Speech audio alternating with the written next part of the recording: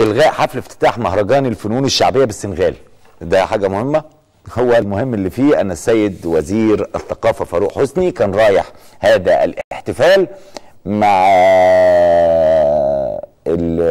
حسام نصار وكيل أول وزارة الثقافة رئيس قطاع العلاقات الثقافية الخارجية وفرقة ملاوي للفنون الشعبية.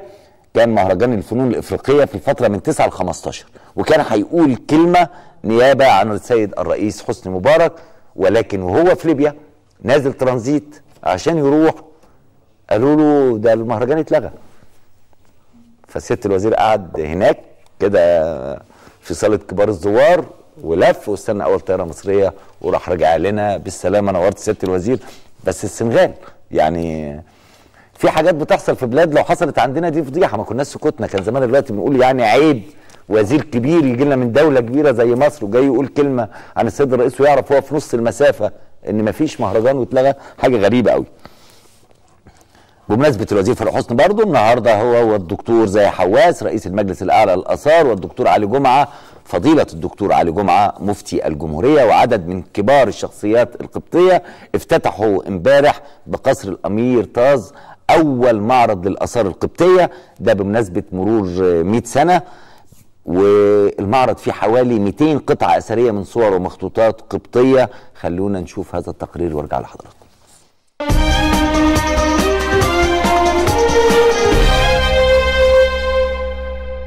Procedamos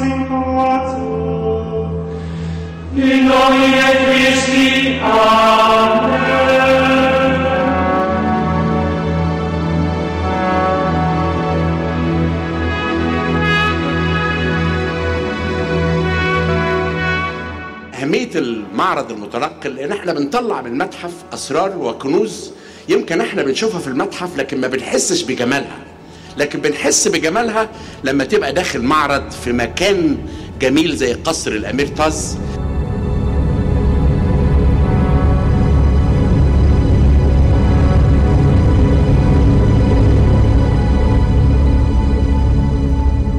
الفن القبطي المصري متميز كفن مسيحي يعني متميز عن بقية الفنون لأنه سابق كل هذه العهود. يعني إحنا ما نشوف الفن القبطي بدأ من فترة بعيدة آه، قبل أن تبدأ ال- ال- الفنون المسيحية في دول أخرى.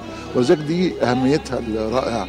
بنعمل معرض بيبقى تيمه ليه تيمه الناس تيجي تتفرج عليها وتحس بقى إنها تتعلم إزاي تشوف الفن ده. إحنا بنعمل معرض بيمثل روائع الفن القبطي وبناخد آه، 200 قطعة أثرية من المتحف القبطي بنعرضها في مكان جميل زي قصر الأمير طاز.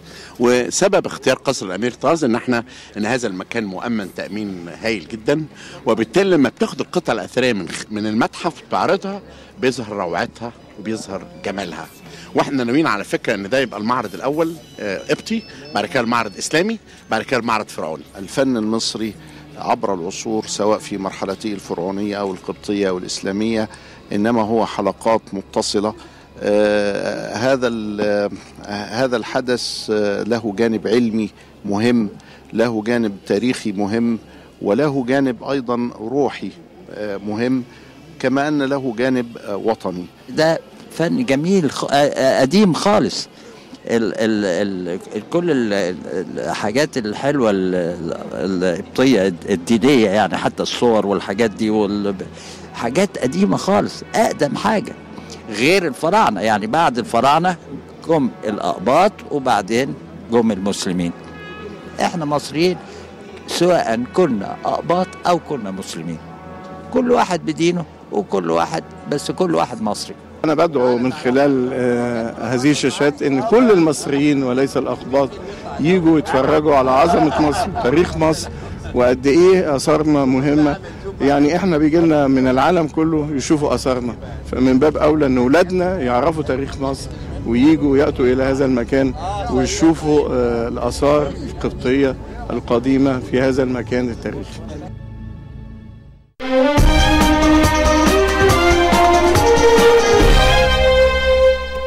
هي دي الزيارات. آه، الوزير رشيد محمد رشيد الوزير النشط المحترم وزير التجارة والصناعة والقائم بأعمال وزير الاستثمار راح ليبيا. رجع بإيه بقى؟ رجع بمشروعات بالأمر المباشر بمليار دولار. الوزير رشيد واعد ومتعهد وباذل جهد كبير إنه تبقى صادراتنا توصل من 20 مليار ل 200 مليار سنويا. شايفين الفرق قد إيه؟ يعني 1000% حاجة كبيرة جدا. أول الغيث قطرة هذه الزيارة الكريمة اللي راح بيها للدولة الشقيقة الجماهيرية العربية الليبية. رجع لنا بمليار دولار بالأمر المباشر لشركات مصرية. كان أكبر وفد تجاري فيه 150 شركة قطاع عام وخاص. ودي نقلة كبيرة قوي في العلاقات بين البلدين. يعني حاجة مهمة جدا إن ده يحصل ونلاقي كده الدول بتمد إيديها جاية تاخد منتجات من مصر تاخد آه، مشروعات شركات كبرى من مصر نصدر للدول العربية والأوروبية. إن شاء الله إن شاء الله بالخط اللي ماشي عليه الوزير رشيد محمد رشيد هنحقق إنجازات. خلينا نشوف التقرير ده من ليبيا. كاميرا مصر النهارده في كل مكان معاكم. كانت في ليبيا مع الوزير بتتابع هذه الأخبار الحلوة.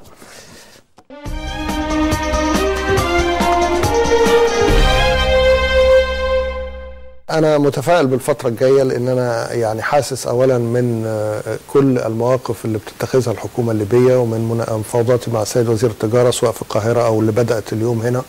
بكرة هناك مقابلة مع السيد رئيس مجلس الوزراء هنا مع السيد وزير المرافق كل الجهات الرسمية كل الجهات اللي موجودة هنا. حريصة أنها تدينا فرصة أن إحنا نتدخل في كثير من آه، المشروعات اللي موجودة ونزود حجم تجارتنا. الوفد اللي موجود معانا أكبر وفد تجاري وصناعي واستثماري جاء في تاريخ العلاقات المصرية الليبية.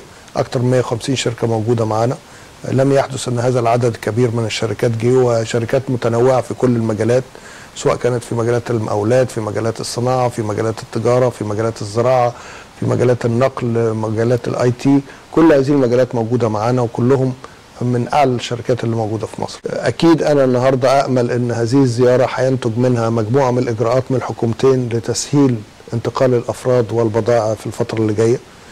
موضوع دخول الأفراد إلى آه، آه، ليبيا عملية المنفذ أنا عايز إن يتخذ قرار أو إحنا هناخد قرار فعلا بكرة ولكن يترجم على الأرض بإن إحنا عندنا مركز آه، منفذ حديث مش معوق بقى ولا مؤذي ولا متعب ولكن بالعكس بيحفز على التجارة وبيحفز على الانتقال بين البلدين. إحنا بنعمل مجموعة عمل من الشركات المقاولات وشركات الاستشارية وشركات مواد البنى.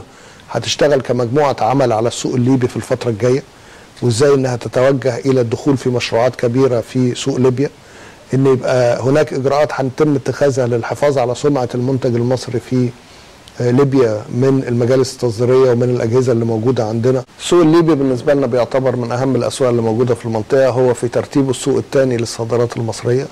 إحنا آه، في العام ال- الحالي صادراتنا بتصل إلى 5.5 مليار جنيه مصري. هذا الرقم في الخمس سنوات اللي فاتت تضاعف سبع مرات. إحنا طلعنا تقريبا من آه، 700 مليون إلى 5.5 مليار جنيه. طبعا إحنا بنأمل إن الزيادة دي تستمر بصورة عالية في الفترة الجاية وأنا متأكد إن إحنا ممكن نزيد ب 30 40 50% كل سنة. يعني بنتكلم على مليار ونص ل 2 مليار جنيه سنويا. طبعا هذه الزيادة معناها فرص عمل. أنت متخيل النهارده لو أنا بصادراتي ليبيا اللي موجودة 5.5 مليار كم مصنع بيستفيد منها؟ كم ورشة بتستفيد منها؟ كم مزرعة بتستفيد منها؟ مئات الألوف من المصريين بيستفيدوا من هذا السوق. خمسة مليارات جنيه مصري هي قيمة الصادرات المصرية إلى ليبيا كل عام. رقم كبير تسعى مصر جاهدة إلى مضاعفته خلال السنوات الثلاث القادمة. محمود التميمي من طرابلس الليبية لبرنامج مصر النهارده.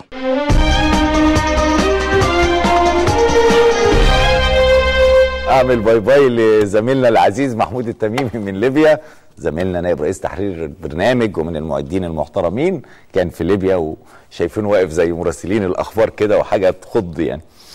الشوق الشوق الشوق الشوق. حاجة تفرح. الشوق جميل والشوق يبهج والشوق يرفع راسك.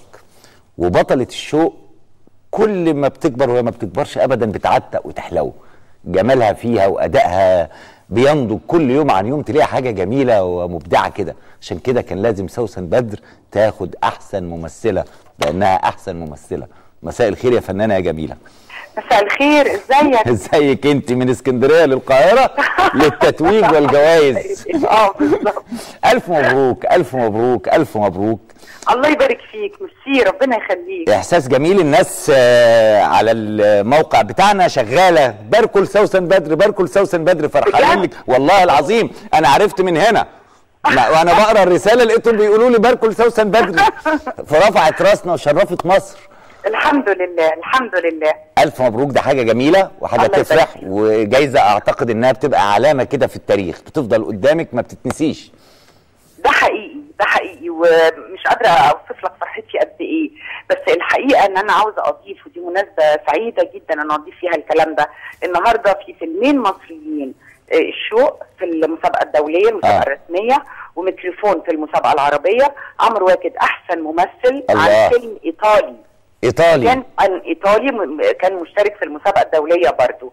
طبعا دي حاجة يعني مش قادرة أقول لك طبعا. آه، عمرو كمان ممثل جميل. رائع. ومحترم. وكونه ياخد عن فيلم إيطالي مش مصري. آه طبعا. ولجنة تحكيم أجانب. أيوه حد يرفع راسنا في مصر وحد يرفع راسنا في إيطاليا كده. هم دول المصريين. ولسه ولسه. وفي الهرم الذهبي الهرم الذهبي ده خالد الحجر للفيلم.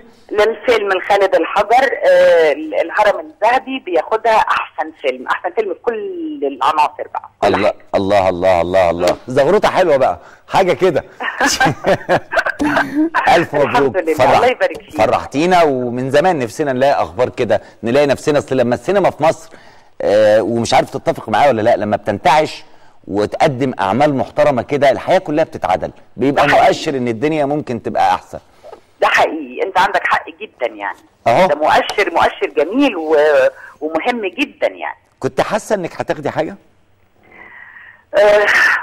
بصراحة قلت لك يعني. لا هتصدقني. هصدقك. لا. طب ما كانش ما كناش لأن كنا كلنا أنا وكل فريق العمل في الفيلم.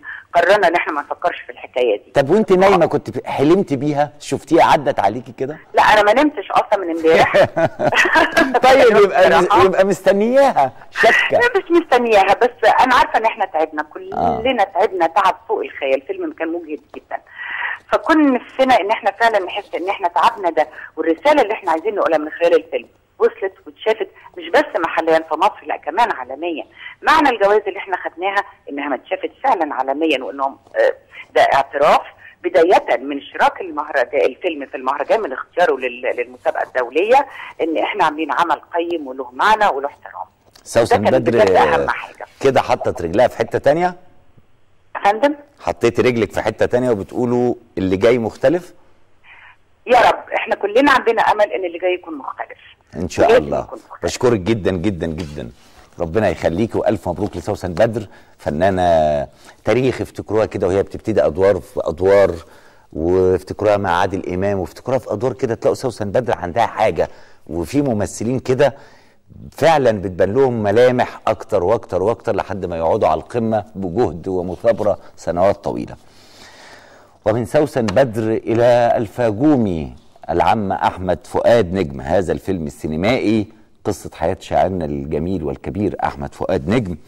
آه بيعملوا ممثل جبار برضه. والله العظيم إحنا عندنا في مصر شوية فنانين وشوية مبدعين وشوية علماء وشوية شباب بس إحنا ما بناخدش بالنا.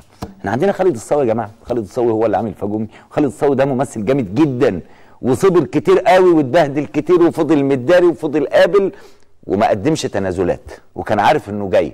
فلما تلاقي دلوقتي اسم خالد الصاوي على فيلم تعرف إن إحنا داخلين على حاجة كويسة. وكمان قصة حياة أحمد فؤاد نجم ده حاجة جامدة جدا. طبعا معاه برضو الفنان الجميل القوي اللي هو هيبقى اسمها إيه؟ الفسوخة بتاع الأفلام صلاح عبد الله. لما تحطه في حتة كده تلاقيه لبس الشخصية ومعاه الفنانة جيهان فاضل وفرح يوسف وأحمد منير سيناريو وحوار وإخراج دكتور عصام الشماع. مصر النهارده كانت موجودة هناك في كواليس بدايات تصوير الفيلم.